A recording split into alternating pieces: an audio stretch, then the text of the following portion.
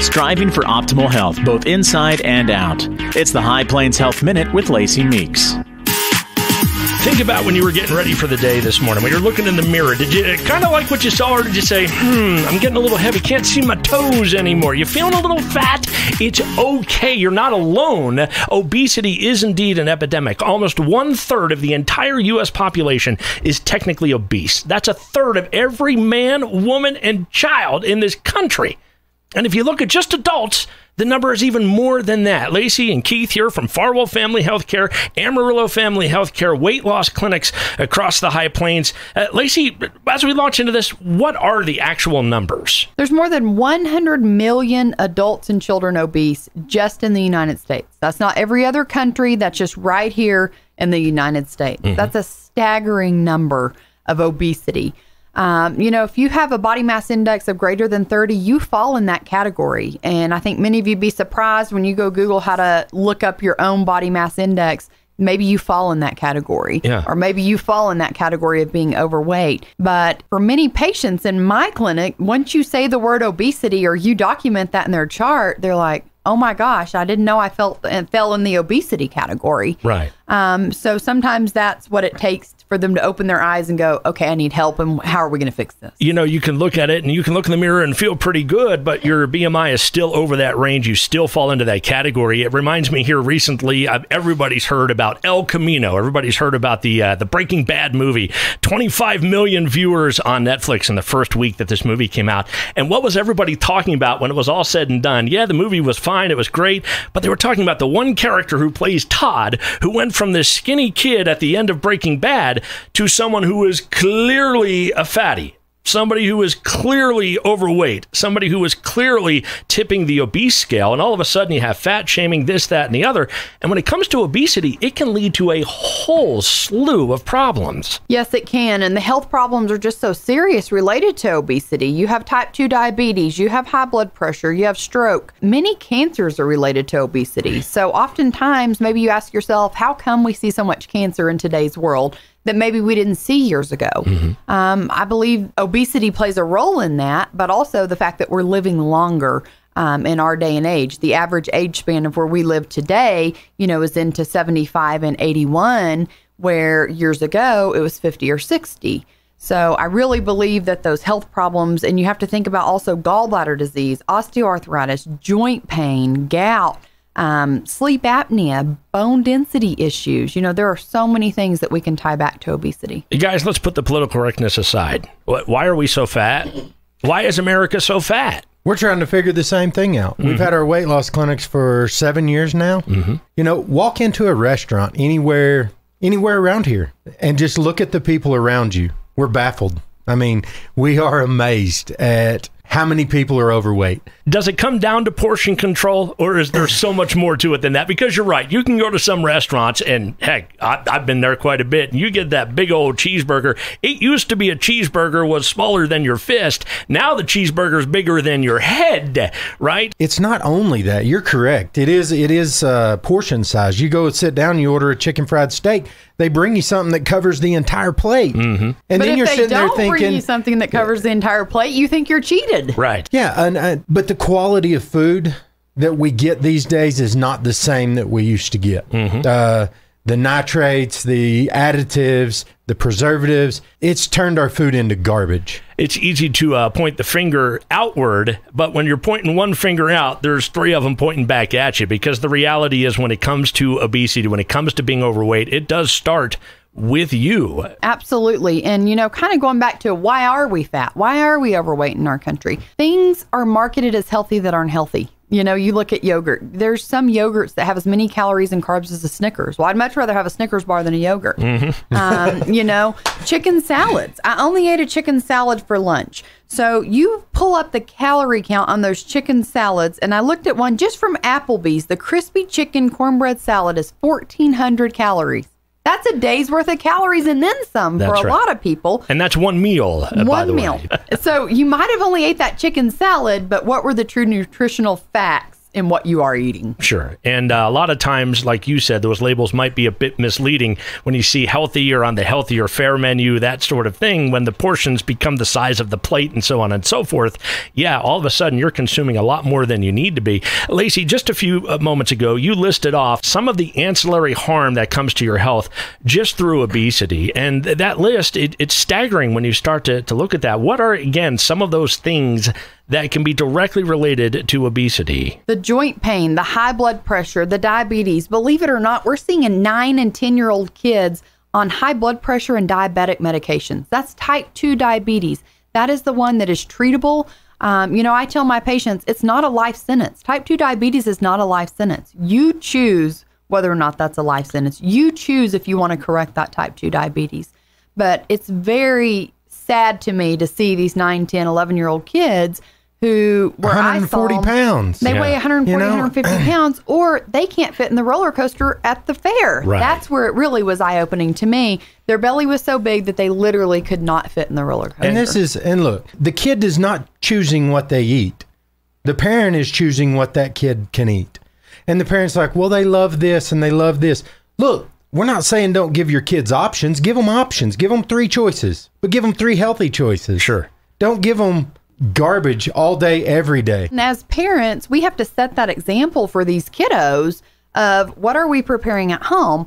But what is another reason that we're obese? Fast food. It's easy. We stop, we eat out. Let's get, you know, let's get our kiddos some chicken nuggets and french fries at McDonald's on the way home from school. And then we don't have to cook dinner at night, Right. you know? Well, that quickly adds up becoming a problem with the saturated fats and the unhealthy grease that they're frying that in, and it's processed, and you know it's not healthy, clean eating. It's Lacey Meeks, Keith Meeks, Farwell Family Healthcare, Amarillo Family Healthcare as well. And these are the guys in the know. Guys, yeah, diet, definitely. Uh, what you put in your mouth is going to have direct effect on your health.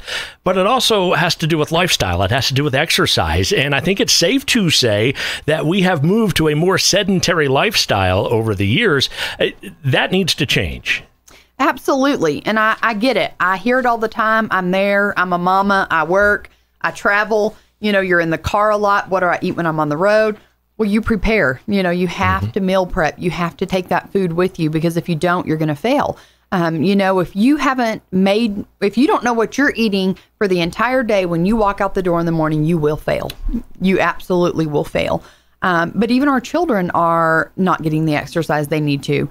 And part of that is we feel like we don't have the safety that we did 30 or 40 years ago. Go outside and play, come home at dark. We didn't need your cell phone. We, you know, you just make sure you can hear me when I whistle when you come home. Right. Um, so I think that's a big part of it. But I also think that um, just making time, we're busy. You know, we're stressed out. People are trying to make a living. But I once had a patient who told me who had major cardiac disease. His cardiologist said to him, if you have time to eat, you have time to exercise. And it's equally as important uh, Absolutely. to get your body moving and will help with the epidemic that is obesity. We've talked about the negative health effects of obesity, but there's other negative effects as well, like your wallet, uh, the amount of money spent every That's year. a big deal. And people say, well, it's cheaper to go to the grocery store and buy stuff to prepare a meal than it is to go to McDonald's. Nah, it's really not. you know, so I mean, the reality of it is, is sometimes it's easier to go to McDonald's and it's cheaper to go to McDonald's. You know, unfortunately, eating healthy is extremely expensive. Mm-hmm. You know, they've made everything healthy, they've organic, everything else.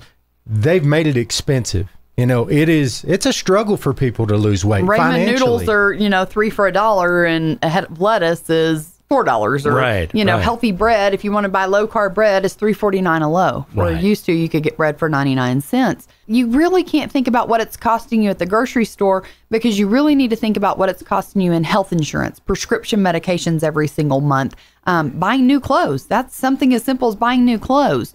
Um, but we know the United States right now is spending an estimated $149 million due to obesity. When you step on the scale and it reads like a, you know, just spinning like a clock, well, so too is the overall dollar that's going into this problem, and we need to get it under control. So, how do we do that? How do we get it under control? Well, there's no surprise that overeating and lack of exercise is usually the culprit of obesity. Um, obviously, you need to have some good blood work done. And maybe there is an underlying medical condition that is causing the weight gain. You know, maybe you have a thyroid issue. Maybe you already have type 2 diabetes that's untreated that needs But- to be taken care Let of. Let me interrupt you there. That is the case, but a lot of people are going to hear that on the radio and say, "I must have a medical problem." Mm-hmm. Very, very, few, a very minute number of people have a medical issue stopping them from losing weight. It's always good to check, but at the same time, You definitely want to rule out an underlying condition, but I hear it all the time. Something's got to be wrong with my thyroid. Something's got to be wrong with me. Well, the bottom line is we're lazy. Mm-hmm. Whether that's a lack of exercise, you don't want to log your food. I don't have time for that. You have your phone in your hand all day long. MyFitnessPal.com is free. Yeah. You know, look up your food before you're going to a restaurant. Um, logging it is so important. everybody right now, you pick up your phone, your thumb is going constantly Facebook, scrolling through. Instagram, That's right. Snapchat, sending a text message. Yeah. It just doesn't take that long, but it's accountability because you go, well, I don't think that was that much. And then when you log it, you go, whoa, ribeye steak's 100 calories an ounce, you know? Yeah. Um, who eats four ounces of ribeye in our part of the country? No one, you know? You have to weigh those things.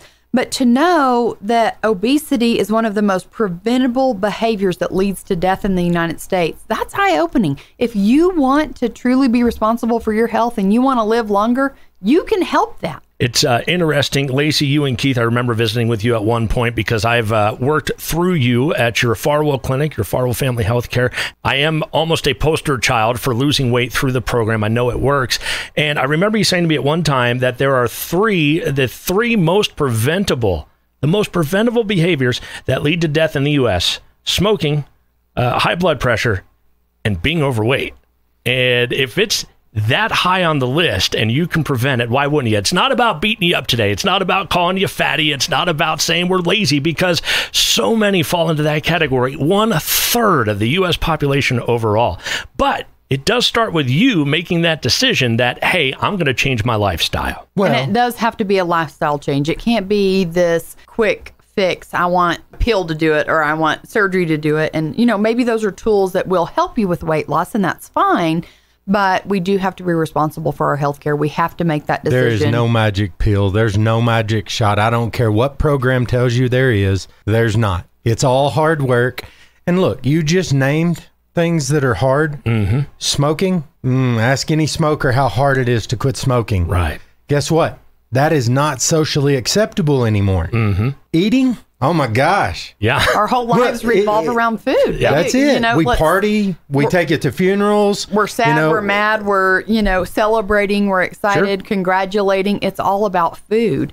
Um, and it, it is, it's pretty eye opening to look at how much we eat in our, in the United States versus other countries, our portion sizes and things we eat, and how quickly we eat that food. You know, you're in and out of a restaurant in 30 minutes these days. Sure. Granted, I mean, I worked in the hospital setting. There were times that you only had five minutes to eat, so you better eat it and go. Right. people don't want you to lose weight. When you go to a party, if you're on a diet, people are like, "Oh, come on, just try this, try this."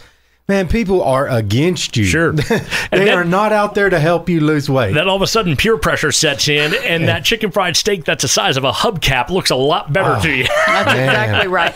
And I think too to wrap that up, I I want my the patients that are out there who are either struggling through fertility or maybe who are already pregnant to understand that obesity, being overweight, plays a role in infertility, or it can.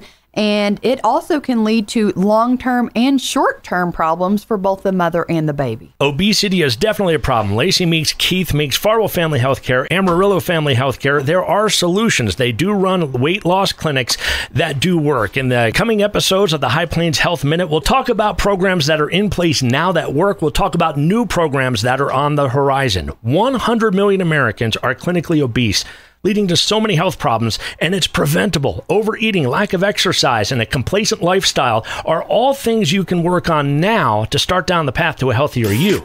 But it's not just your current diet and exercise habits that may be leading to those extra unwanted pounds. On the next episode of the High Plains Health Minute, Lacey and Keith talk stress and how stress is a leading cause of weight gain and health issues. The High Plains Health Minute podcast provides general information and discussion about medicine, health and related subjects. We make every attempt to provide accurate and up to date information, but medicine is an ever changing landscape. The words and other content provided in this podcast are not intended and should not be construed as medical advice. If you have a medical concern, you should consult with an appropriately licensed healthcare provider. The information presented on this podcast are the host's personal views, opinions, and research on the subject matter.